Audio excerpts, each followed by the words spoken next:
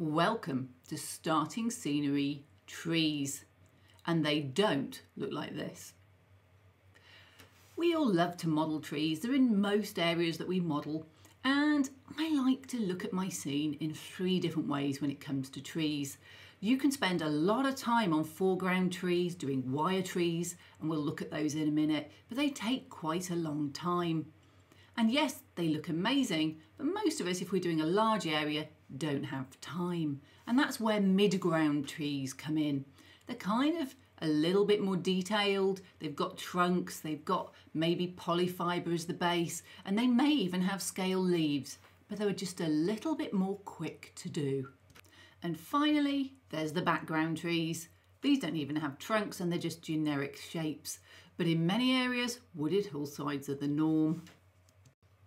So let's start with the jewel in the crown, a wire tree. You can use it to model any species you like and any season that you like, but the downside is it's very time consuming.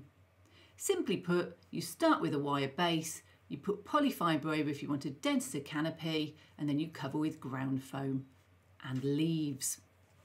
You make wire trees by bending wires, form them into loops, twist them round so they're nice and secure, then snip the loops at the end. And basically you build that up till you've got a tree. You add something to thicken them so that the wire doesn't show before painting an appropriate tree colour, not brown. I use 10mm static grass to add more branches and follow it up with some coarse ground foam and then some scale leaves. If you set up a production line, it doesn't take that long and this is the end result. I've gone over how to do these in far more detail in the Four Seasons Oak video. You can use the same similar method using just a wooden dowel for a trunk to make a pine tree, as on my halo pines here. And here's one I just made earlier as an experiment. It shows how the same techniques can be used to make completely different looking trees. But wire trees are not your only option. You can buy loads of commercial trees. Some of them have amazing armatures you can just add stuff to, and some are natural products. You can beef them up and make them look even better if you combine the two. I've used commercial trees like this for the bulk of my layout though, just for volume terms. I can't be bothered to twist that much wire.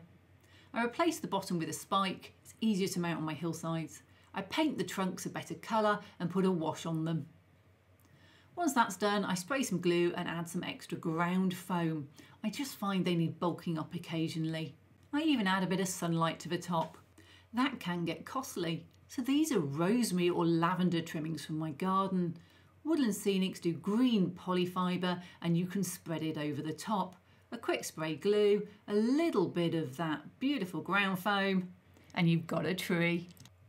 Sometimes you're just looking for a good trunk. These are buddleia trunks that came out of my friend's garden. You can elevate even the most ordinary tree by adding some scale leaves and there's a huge variety for you to use. This is an example of some of my mid-ground trees. They're just commercial trees and when plunked on the layout they look awful because the colours are often too bright. But a small spray of glue, a sprinkle of green blend woodland scenics and maybe the odd scale leaf thrown in there and it starts to look very different. Bear in mind, these aren't that visible, there'll be something in front of them. So we just need to represent the trees. You can make background trees from anything. This is jute rope and mini wire trees. And I just do them just like foreground trees with all the same techniques, just smaller, even down to mini pine trees. By the very back, I just put small trees with a little bit of green blend, and these are Z-scale trees, I think, into a piece of foam core and call it good. So let's go look at that scene again.